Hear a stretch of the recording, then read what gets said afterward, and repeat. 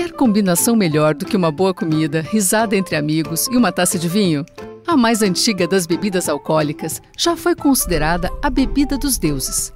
Animou festas de civilizações que viveram antes de Cristo e virou até recomendação médica. Mas o que talvez pouca gente saiba é que o vinho traz a memória das uvas que lhe deram origem.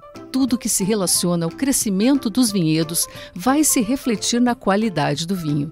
Quer saber mais? Fica comigo. Nós vamos desvendar os segredos dessa bebida e conhecer três fatos que vão muito além do vinho. O vinho é a mais antiga das bebidas alcoólicas. Foi primeiramente produzido pelos árabes e pelos gregos por volta do ano 6000 a.C. Os registros arqueológicos mostram que o vinho surgiu como consequência de uma tentativa de se guardar uva e suco em recipientes de cerâmica. A fermentação ocorre por conta das leveduras presentes na casca da fruta, transformando o açúcar em álcool. Cada garrafa guarda uma história. E eu nem estou falando daquelas lembranças que nós guardamos de um dia especial. O vinho tem memória do solo, do clima, da luz e de tudo que a uva passa até chegar a ele. A espécie de uva mais utilizada para fazer suco e vinho é a Vitis vinifera, mas a partir dela, cerca de 5 mil variedades foram desenvolvidas. Esse grande número de novas variedades foi surgindo à medida que as videiras foram sendo adaptadas para crescerem em diferentes regiões do mundo. Nesse caminho, ocorreram mutações espontâneas, o que explica o surgimento das uvas brancas que conhecemos até hoje. E fomos muito além das mudanças espontâneas.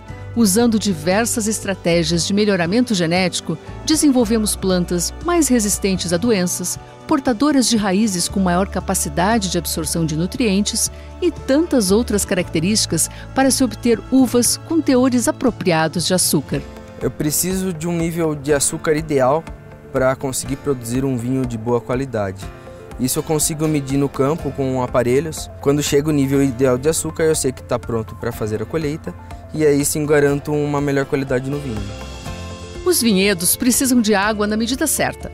A falta ou excesso dela pode resultar no surgimento de doenças que desequilibram toda a composição da uva. Por isso, os produtores têm o cuidado de levar suas videiras para regiões com intensidade de chuva adequada. Quando isso não é possível, adotam sistemas de irrigação. Inclusive, hoje já contamos com sistemas de irrigação que incluem aplicativos que determinam a quantidade de água necessária.